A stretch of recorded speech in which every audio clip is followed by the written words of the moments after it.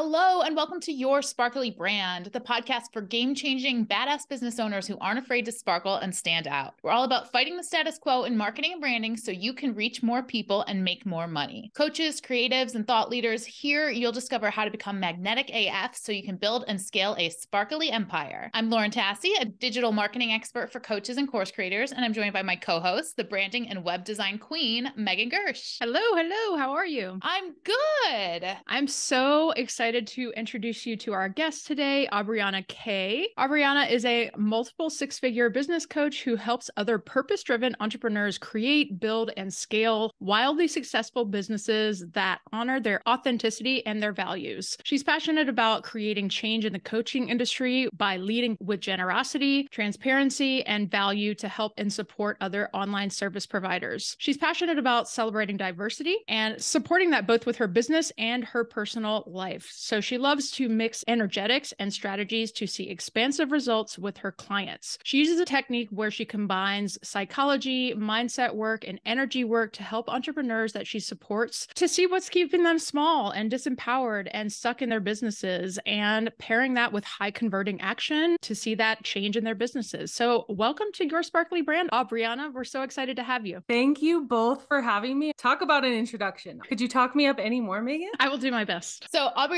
before we jump into your story, we like to start each episode with our sparkly moment of the week. This is like a small win or a celebration, something that made you feel good and sparkly. Meg, what was your sparkly moment this week? So, I might have mentioned this on another podcast prior to this, but I just finished up a 28 day sprint of going live on TikTok every single day in February. And so, when I finished the last day, I definitely had like a little celebration and it's making me feel a little sparkly. I wound up helping 262 businesses, which is crazy. That's so awesome. And I know you set out to do 100, right? We started here a couple weeks ago. You're like, I'm going to do 100. And then you're like, I got to do more. Yeah, it started out as 100. And about three days in, the I had already hit like 30 businesses. And I was like, I need to change this goal. So the, the new goal was 250. And I crossed that even. So I'm pretty excited. What about you? I have delegated.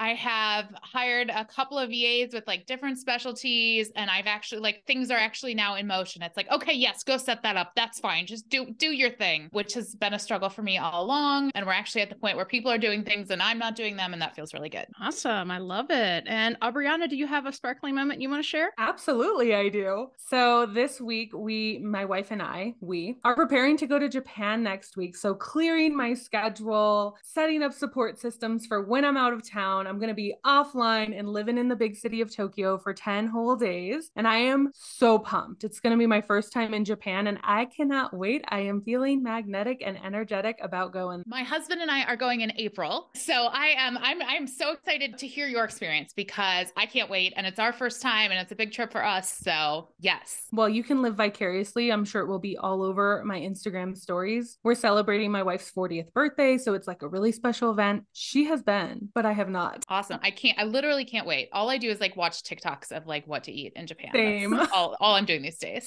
Oh, well, that is going to be so fun. All right. Well, let's get into it. Why don't we start off by if you want to tell us just a bit about your business and how you got started? Oh, absolutely. So, if you know me, welcome. I'm so excited to be here. But let me tell you a little bit about my background. I did not start as a business coach, which a lot of people don't anticipate. I've been doing it for about four years now, but I actually started in intuitive development and energy work. And I worked in corporate in my day job, and I was in PR and marketing. I went to Forbes School of Business, got my degree in that, and was living my happy little corporate life there. But I never really felt fulfilled. I always wanted something with deeper meaning where I could connect and help people. So I ran an intuitive practice on the side that I scaled to six figures just on Instagram. This was before the days of TikTok. And when I was in this space, I was really in a mentorship role, helping people in developing their gifts, like developing their self trust and teaching energy healing. And then I noticed a lot of my clients were asking me about how I was scaling my business, how I was making income. And I had a corporate background in business building and sales and PR. And I was integrating so much of it sort of subconsciously in my own business, mixing it with energetics, mixing it with mindset that a lot of my past students were approaching me and asking for mentorship in business. And that was when I sort of had a light bulb go off because I noticed a lot of my past students had hired business coaches and the strategies that they were being taught were so sketchy. I was like, this little fire in me, I was like, this is not even real business strategy. Just telling someone to show up and sell is not a strategy, that's advice. And they were paying thousands and thousands of dollars. So it really just launched me into a whole different direction of wanting to help people in their businesses and giving them real strategy and still mixing it with the energetics of mindset and psychology and that intuitive piece. So, four years later, here I am sitting in front of you and really still so in love with the work that I'm doing to kind of gloss over the messy middle.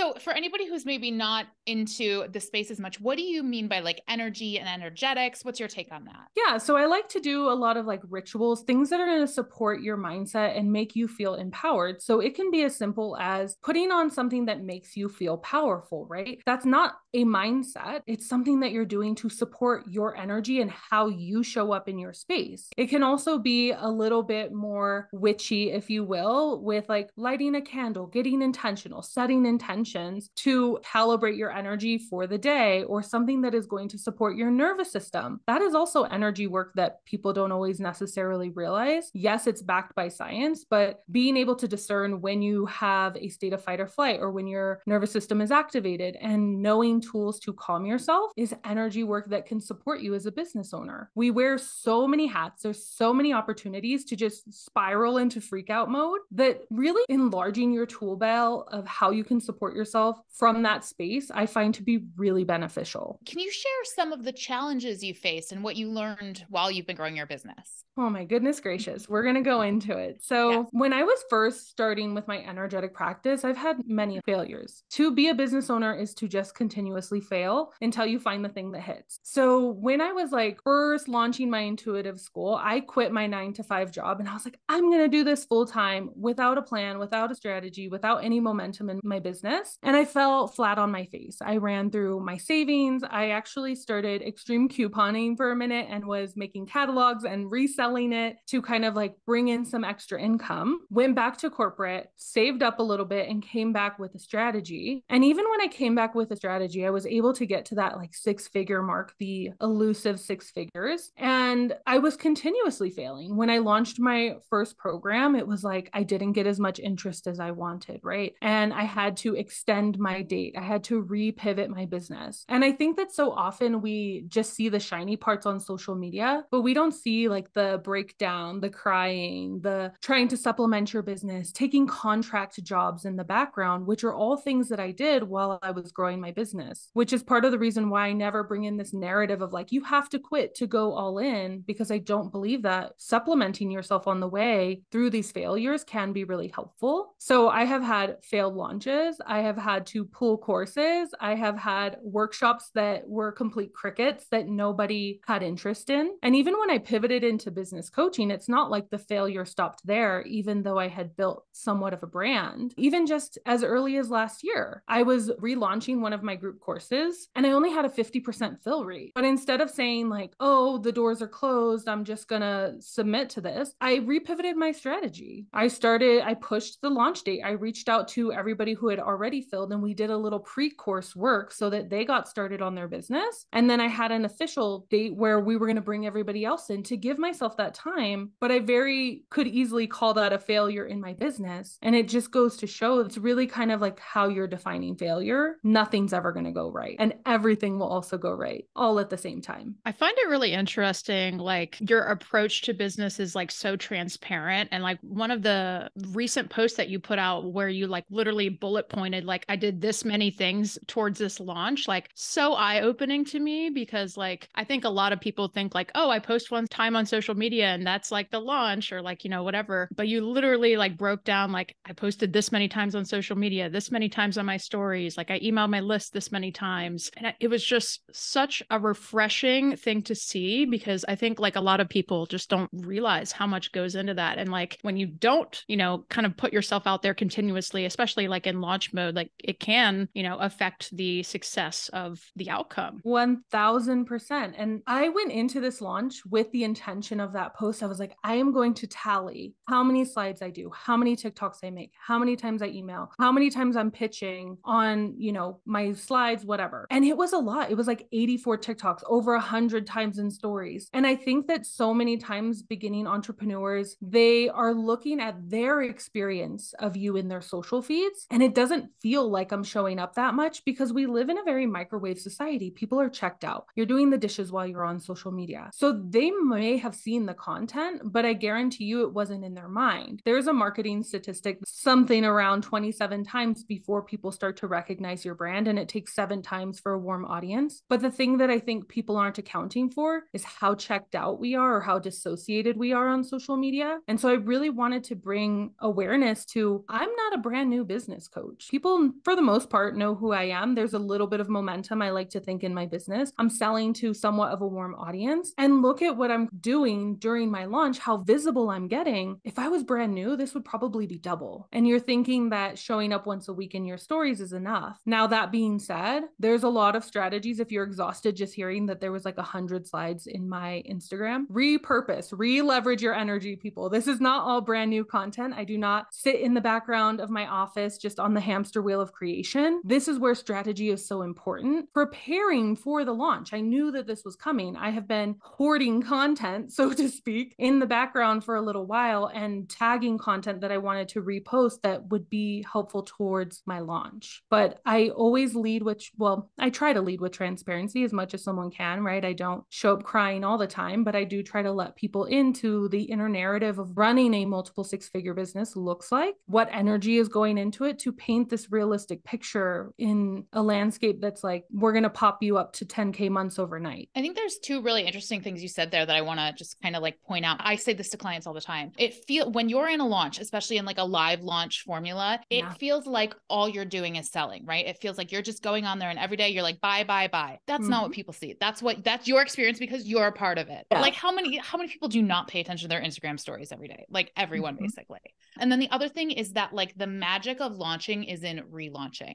It's that mm-hmm. like, hey, this is the program I have. This is how I do it. Instead of just starting from scratch each time, every single time you're building, you're gaining momentum. There's all these people sitting on the sidelines that are just like, I don't know, not right now. So then when you come around again, they're warm, they're there. Where if you were starting with like new offers every single time, you're you're not building on the same thing. Yeah, 1000%. And I think just to kind of piggyback off what you said, so many people are not talking about the momentum building in your business, right? Priming your audience, warming them up, hinting at your offer, putting the teas out there that are part of the launch formula, right?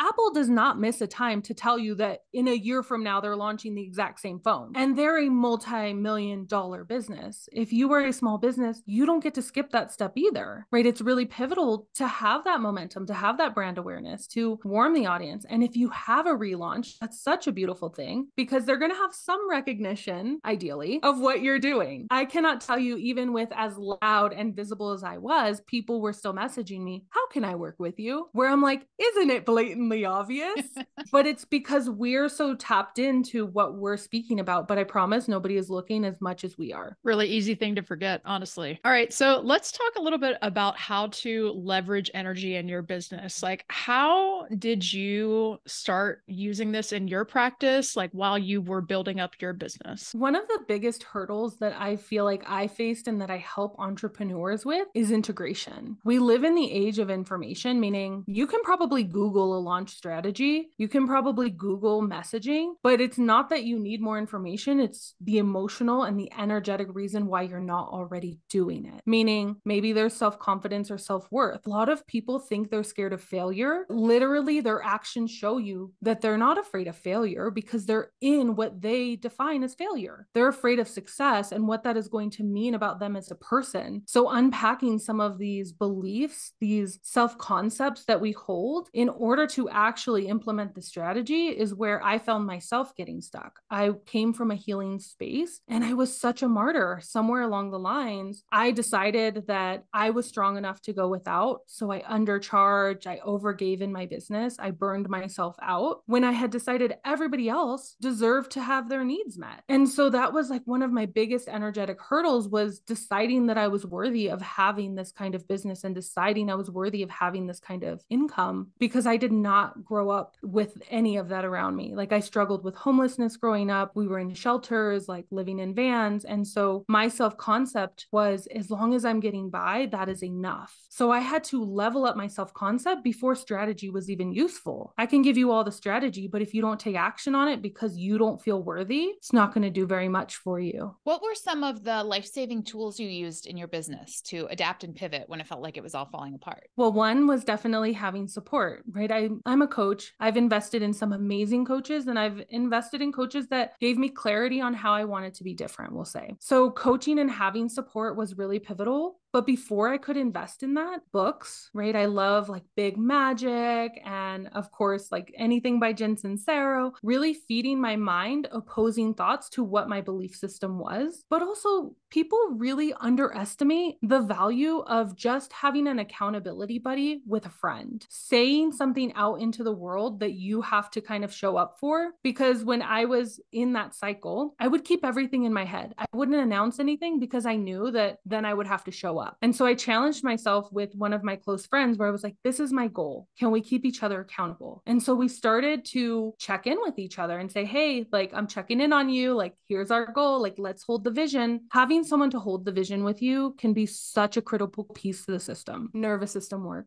was really life changing for me. I probably lived like the first, I don't know, 30 years of my life in fight or flight, and I didn't even realize it. My brain was on fire or freeze at all times, meaning I would get hyper fixated and be so lit up when I was motivated or inspired. But as soon as that dopamine went away, I was in freeze and overwhelm in my business. So learning how to recognize and discern where my energy was at and learning the tools to deactivate my nervous system was pivotal. YouTube breath work, YouTube tapping, right? Ice your chest for the vagus nerve in your body to reground. Take a cold shower, like something that is going to get you out of your head and into your body to free up space for movement where for the longest time i just sat there in suffering because i didn't have the tools and that was okay. Yeah some of those are so so helpful. And i think like especially like you know we t- chat with especially with a lot of like very sensitive entrepreneurs women entrepreneurs like folks that are definitely more attuned to like the emotional side of business. And mm-hmm. like some of those tools are just like literally game changers. Yeah i feel that. I mean let's also not discount therapy. Yeah totally. me and my therapist are like really tight. And i think that when you're kind of unpacking, everyone's starting from a different place. And so I can say, hey, just deactivate your nervous system, but there may be something that needs to be like supported on a deeper level. But just having that awareness and that grace with yourself can free up space for movement. So I know a lot of people mistake building a platform for building a mm-hmm. business. Can you explain a bit about like the difference between the two and also how you can use a platform to build the business instead of the other way around? Yeah, absolutely. So when you think about building a platform, you're really thinking about connection, which is a part of building a business. But what I often find is that when you're building a platform, it's all about relatability things that are funny, things that people can relate to, things that people want to feel inspired about. It's not necessarily about creating movement. And that's the key piece when you're talking about business. So when you're trying to build a business online, yes, you want to be relatable, but there should be an endpoint to get people off of social media where they get to know you as a person and come into your offers or your energy in a more intimate space. So a lot of the clients that I help have a platform, but they haven't learned how to monetize it. And a lot of it is in their messaging where they're doing things that are relatable, that are in their industry, but they're never actually talking about their offers. They're never creating movement and inviting them into the next layer of the client journey. They're not really putting out messaging that is to sell because they're scared that it's not going to perform. It's not going to get the likes. It's not going to get the views. And so you have to also reframe your mind of like what success looks like. If you go to my TikTok, my average views when they're not messing with the algorithm is like 300. If I get like 600 views, I'm like, oh, that was a pretty solid video, Aubrianna. Like we're doing things. If I get higher than that, like I've never gone viral, but so much of my business comes from there because I stay really intentional with creating movement, helping people move through the buyer's journey, not just talking about things that are relatable. I talk about that, but then my very next video is probably about like, if you want more, let's connect, grab this freebie, ask a question in the comments. I'm positioning myself as a resource and not just a friend. What advice would you give to someone who's feeling stuck and overwhelmed in their business? First things first is make a list of everything that you're doing and then put all of the money making activities up at the top. So many times when someone's overwhelmed, they're like in the back end of their business spending four hours trying to pick a font because they're trying to be in pseudo productivity.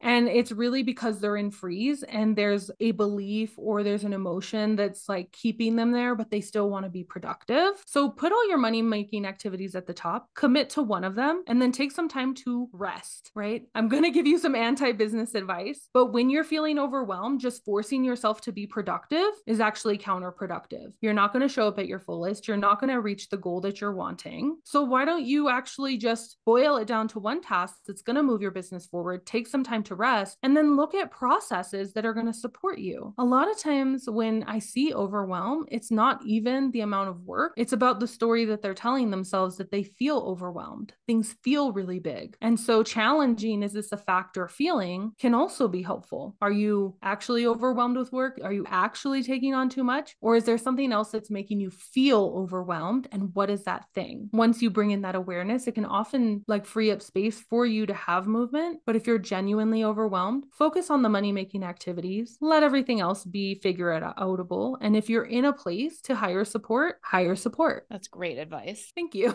I could have used that a few years ago. You and me both. All right, so let's take a bit of a trip back in time here. So, like when you were right on the verge of up leveling your business, what is one action that you took to really elevate and hit that next level? Mm, I love this. It sounds like an oversimplification. I'm really not going to lie to you, but I had to decide that I was worth it. I talked about that martyr energy that was really present in my business in the beginning. And at some point, I was like, I am so tired of my own shit. And I was like, I'm committing to trying something different for a full year and just to explore and experiment in my business. And I'm to sell and I'm to position myself and I'm to be cringy and I'm to let myself be uncomfortable. So when I decided that this is what I really want and I released a lot of the guilt and shame that I had around receiving money and what I thought that that meant for me or my identity, that was when I really had movement to start to show up. I started selling on my stories, selling in my content. I was like, I'm just going to do this because the alternative is something that I've already identified with my full heart that I do not want, which is working in a corporate job. So I really leaned into my heart and was like, if I want to see my business move forward, what are those tasks? I'm going to commit to two or three of those tasks every single day, those money making activities. And so I let myself be cringe. I had vulnerability hangovers all the time. And every time it was somebody would book. And I was like, I just made a couple thousand dollars and I'm sitting over here with a vulnerability hangover. And so committing to that process and not letting discomfort tell me that I was doing something wrong, but to tell me I was doing something right was a big true north for me in my business. When we feel uncomfortable, our instinct is to comfort ourselves, to placate, to take away the pain, when it might just be telling you this is a muscle that you haven't practiced. And so it feels uncomfortable. And so once I sort of realized that, I was like, oh, selling is uncomfortable for me. And I've been avoiding the discomfort by doing other things in my business. That's why I'm not growing. I deserve to have this. I really started showing up and just leading with my heart and saying, saying, This is how I want to help people, and I'm going to sell. And it doesn't make me a bad person. That's when things started to really take off and gain momentum. I like totally just felt that like in my heart because oh. like I've been literally going through that in my in my own journey and like just hearing that just like affirmed like okay, I'm on the right path. Like I just need to keep fucking going and like yes. keep keep selling like even though it's super uncomfortable for me. So I I thank you for that. I always say let the crickets cheer you on. A lot of times it's crickets, but it doesn't mean anything is wrong. If you're selling thousands of dollar packages, you're not going to have the same sort of volume as someone who's selling a product or someone who's selling X, Y, or Z. And so having that awareness, I think, is really helpful. But hell yeah, you're on the right path. Just keep chugging forward. So obviously you're about to go on vacation, but what else is coming up that you're excited about? What are you working on? Well, I just brought on my very first employee into my business, which I'm very excited about. So I'm growing and I'm really setting myself up for more ease, which is another sparkly moment. But also I'm launching a membership. I wake up so excited every day. I'm like, I'm a manifesting generator, if y'all know what that means. So my sacral's like, let's go, let's go, let's go. So I'm super pumped about that. And I'm intentionally slowing down because I want to build out all of the resources and the business assets in there. But that is the thing that is on my forefront. I am like putting all of my love and energy and everything that I wish I would have had in the beginning of my business into this membership. Well, that is so exciting. So excited to hear the updates about that. So, thank you so much for coming onto the podcast. This is so fun to chat with you. Can you tell our listeners where they can find you online? Absolutely. You can find me on Instagram, TikTok, Facebook business page, all at Aubrianna Kay. Oh, YouTube as well. It's all the same handle, which is great because nobody really has my name. So eh, you can find me on all the social platforms and it's Aubrianna with two N's, K A Y. Thank you so much for joining us today, Aubrianna. And thank you to our listeners for listening. If you enjoyed this episode, please leave us a review and be sure to subscribe so you never miss one. Until next time, stay sparkly.